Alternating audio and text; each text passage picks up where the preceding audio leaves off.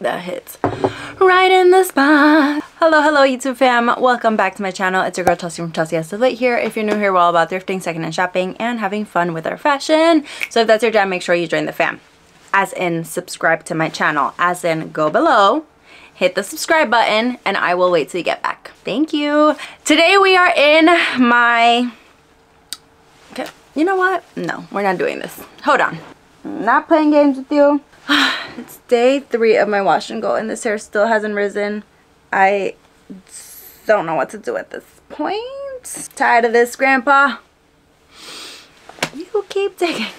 Like, what is that? Any Hoosers. Today we are in my apartment. Um, your girl is tired, hence the eye patches. I woke up bright and early this morning and you know like it just doesn't hit the way it used to in my youth. These like early morning wake up calls, they really be showing in my eye bags, y'all. But I, what I can't concentrate today. Today we are in my closet because when we did the big clean out in January, you guys might have seen it in my channel. I promised myself and most importantly, I promised Cadesa that we would be doing a monthly checkup temperature check throughout the closet and throughout the spaces and throughout my house so it doesn't build up to the madness that it was in January. So that is what we're doing today. We're doing a quick little cleanup. But aside from that, we are also doing something I'm calling a sip and thrift flip, hence the coffee which is going to be essentially like looking for pieces that need uh, a little extra love, a little TLC, whether that's like sewing on a button, gluing things back together because if I love the piece, I want to make sure I treat it correctly so I can keep it for a long time instead of just like tossing and you know, picking up something new. Especially for thrifted pieces, you guys know those are, sometimes they come with their little knickknacks and their little dinks. So um, we are doing that throughout the closet today and you guys are doing it with me so I'm not alone and I might be answering a few questions that you guys have sent my way through Instagram. So let's get started. First of all, I need to get dressed. I'm looking for something comfy today because obvio, we're gonna be working in this closet and um, yeah, let's do that. Okay, cozy outfit is on. Let me put on some earrings. Super annoying, but I can't find the matching one to this one. Anyways, any hoosers. Okay, cozy outfit is on. This should be a quick speed round, a rapid fire round because we already did this not that long ago. So pretty much I'm just going through and anything I said, I'm going to give this a try to see if I wear it in the next month or so. If I haven't, she's goners. So why can I speak regular English? Can somebody explain this to me? Like why am I always like goners, any hoosers?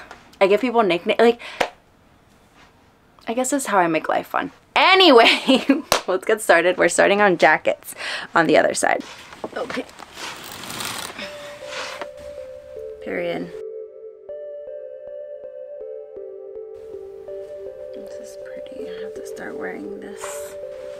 Said one of these was gonna go. Honestly feeling like this guy, I think.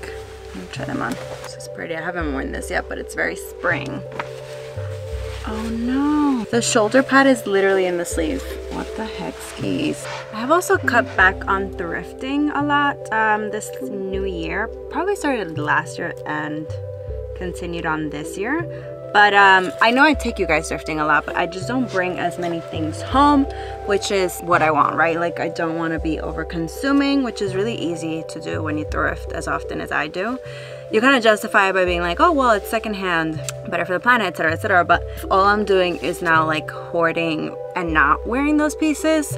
It's, yeah, it's not great. So I'm gonna try this on. Such a good cardigan. I just don't wear it. It's almost like a jacket cardigan. I just don't wear it as often as I should. This goes on the other side. Placement in your closet is key too because you want to make sure the pieces go where you think about them, right? So like if I'm looking for a jacket, I want to be, or if I'm looking for like a coat style of jacket, I want it to be on that side where my coats are still one of my favorite finds of 2022. The fact that we found two of these. My alter ego's name is Paige, guys. Awesome. I have to fix this. Probably my most worn piece, thrifted piece of 2022 was this blazer. I just absolutely love it as a dress. Oh, this one could use a little, a little wipey. She's a little crusty. this year is absolute cuckoo bananas for me. I have two weddings that I'm a part of, three, now four babies being born in my circle of friends and family, and um, a life to continue having. But um, yeah, it's about to really kick into high gear now in March. I have my first bachelorette at the end of the month. Then I have the first baby shower at the beginning of the next month. Then I have Coachella. Then I have my sister's baby shower. Then I have, uh, I'm missing something in April. Then I have, uh, oh, a bridal shower. Uh, then I have a second bachelorette, the first wedding, then my sister's baby's being born. Then I have another bridal shower. This is, we're already up to June. Um, then my cousin's baby's being born. Being born, is that correct? Is, is coming to the world, coming to the earth. Then I have in July my uh, childhood best friend's baby being born and the second wedding. And then in August, uh, the third baby, fourth baby, fourth baby. And then I'm free. this is a year, y'all. 2023 people said I'm popping babies getting married, huh? Like, my pockets be hurting. But anyway, I say all that to say, uh, there's obviously like themes with every bachelorette and I'm also utilizing this time to kind of like start shopping my closet for what I want to wear and what I want to bring and seeing what holes I can fill by thrifting. We're gonna be thrifting tomorrow and so yeah. Hold on tight y'all. 2023 is about to be a ride. Purses. Yeah. There shouldn't really be much but like Never hurts to give it a little look skis. I just know my ESL teacher is like having palpitations right now somehow because like she taught me English well. They all did.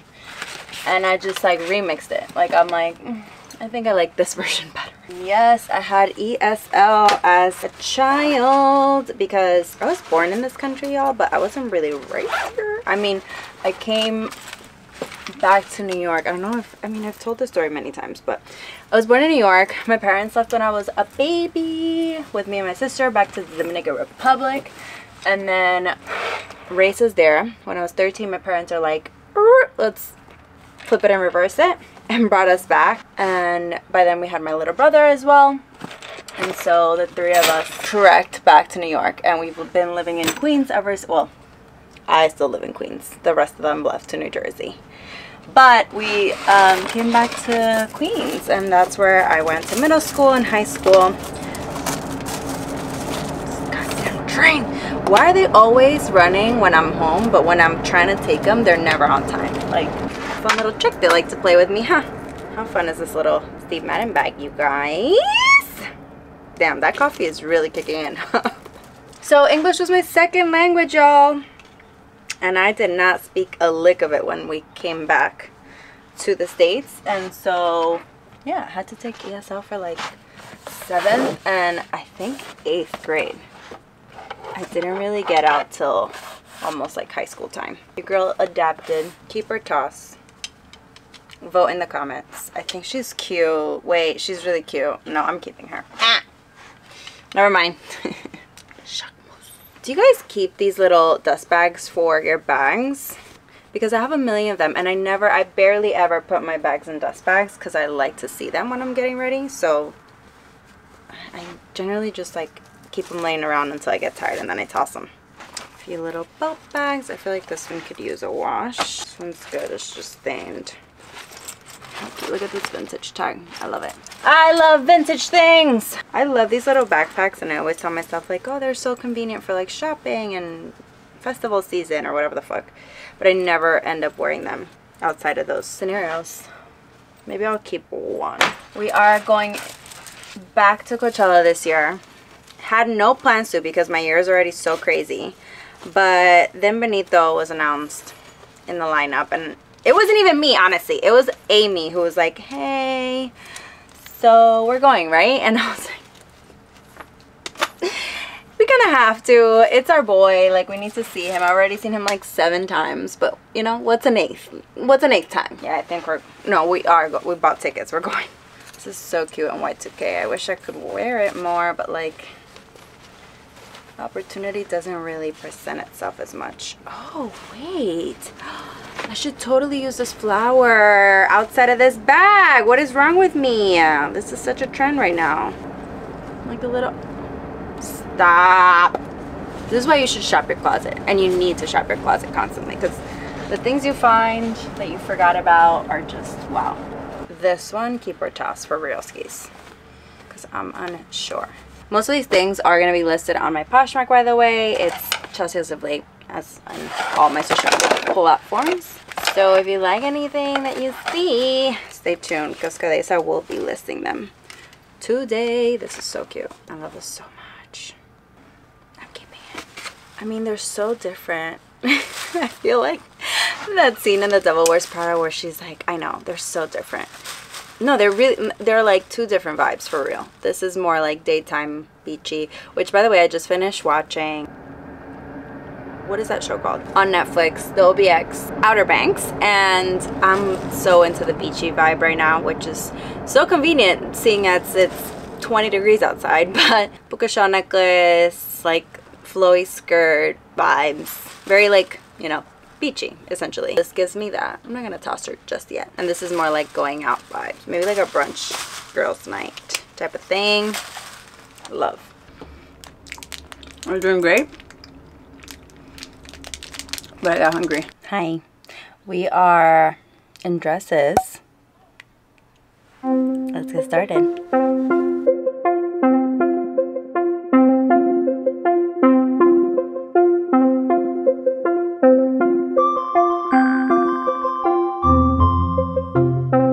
don't know why this always happens, but I'm like, it won't be that much. Also me. Uh, granted, this is not all to be sold or given away. This is also mixing whatever I have to fix. So now I have to categorize what is what um, and go from there. Okay, y'all, we have done it. Cleaned pretty much the entire closet, made uh, some palettes for Poshmark, some palettes for the eventual shop relaunch, and the things that we need to fix. So let me show you guys. Here's what we need to kind of sew, chop, needs heavier alterations or cleaning uh, cleaning, glue, and that's about it. Some more cleaning back there. Stupid mic. And now we start. I think I'm gonna start with pieces I need cutting because it's gonna be the easiest and quickest to get through. So just want to power through that. In the meantime, we're going to answer some Q&A questions. Question one is fitting. Where do I like to go thrifting? So I generally leave New York to go thrifting, like the city. I should say New York City. I go to Long Island or New Jersey because prices are better and stock is better. Like you find a lot more of those vintage finds. And so I love, in Long Island, I go to Island Thrift and I go to my Unique sometimes. My Unique has really fallen for me in the last year or so. They really, I don't know, it hasn't been the same since before the pandemic or even like that first pandemic year. And in New Jersey, I like red, white, and blue. It's in Paramus, I think. I don't know why I'm nervous about like cutting and talking at the same time. And then I also like American Thrift, which is in, I'm forgetting, but I'll drop the address somewhere here. And those are my usual go-tos. Uh, there's a few like Goodwills that I try here and there, but like nothing that stands out at the moment. I also love, or used to love the Goodwill bins, but that's another thing that's kind of just like changed a lot. In recent years, you don't find as much as you used to. Oh my god, first piece. Just chopped it in half. Because it was giving grim Aw, this could be a cute little belt moment, maybe. I don't want to hold on to things that I'm not going to use, but there goes the first piece. Eee! This cutting and talking thing is kind of making me nervous. I'm like, what if I cut down the wrong way? Anyway, second piece, this is a dress that was sent to me. I don't love it as a dress, so we're going to make it a top. We're gonna cut right below this elastic. Another question, let's try this again. What's on my thrift wish list right now? Funny you should ask because the next video is gonna be us thrifting my current thrift list, my March thrift list. I'm doing a little home revamp, which is also going to be here on YouTube. And so a lot of my thrift list right now is home stuff. Oh. Oh. Okay. Wait, guys. I might have messed this this one up. Home accents, uh, smaller things for my like shelves downstairs and things like that. I'm also like I mentioned before, in a lot of weddings and, you know, life events, baby showers, things like that. So I'm thrifting for a lot of that right now, which is like a current need for me. And then in terms of general, I'm looking for a lot of color for spring. So I recently had this moment where I realized I'm not a huge pastel girly. Like I love it only for spring. So I have been staying away from more like pastels and have been looking more into like sorbet colors for spring, but I can I know I can also use it in summer. Oh guys, this is cute. Okay, this might be coming with me to one of the bachelorettes. See, you just gotta reimagine your pieces, y'all. But yeah, no, I feel like you shouldn't buy something that you know you'll only want to wear like two weeks out of the year. You know, like pastels is just like that March, April timeline for me and I won't wear it for the rest of the year and that's not okay. So I'm sticking to more like punchy colors or like at the very lightest sorbet. So looking into that, just now realizing I want more short skirts that are colorful. A lot of my short skirts are like more neutral. Still looking for that gold or silver like very metallic coat. Is never gonna change. I will search till my last dying breath or jacket. It could be a jacket. I'm not that picky. Vintage Mets gear, which is very specific, but like whenever there's a Mets game and I want to go, I never know what to, what to wear. And I really want just like a cool like vintage like Mets jacket or a t-shirt, just the one to have. Suede vest top. This one I'm kind of running out of time here because we're going into spring, but I really wanted a suede vest that I could wear as a top. Black leather shorts, y'all. Like I have been looking and looking and looking for these black leather shorts and to no avail. But I'm still looking. I want just like a standard pair. This is a dress I thrifted for this bow and I never took off the bow, so we're doing that now.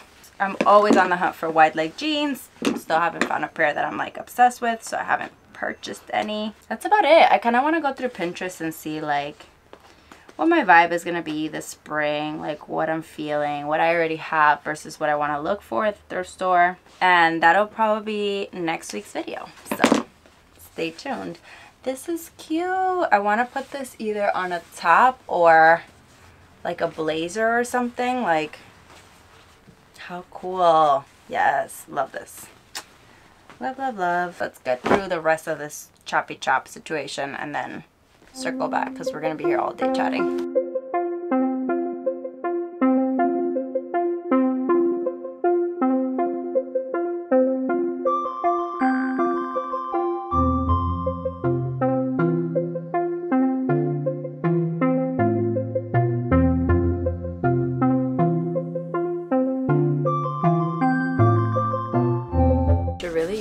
For this because it's straight up Clorox, but like, is it, can you, uh, I don't know if you guys struggle with this too, but like, I cannot clean with gloves on.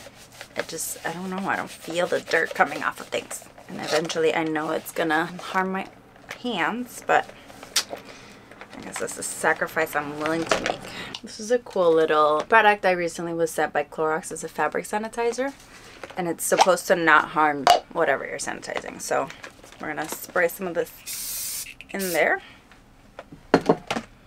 and let it dry. Okay, so I really love, love, love this clutch and I was hoping to be able to restore her, but I think she's too far gone. This flap is definitely gluable, but like the rest of the inside is kind of just like the leather's kind of falling apart. And so, I don't know, I feel like every time I put something in there, it's just going to come out with like remains of the leather. So I might have to say goodbye to this clutch. All right, y'all, almost done here. We're sewing the last few pieces. This is a bag that just kind of crept out on me at the bottom, so we are restoring el fondo, como decimos en español.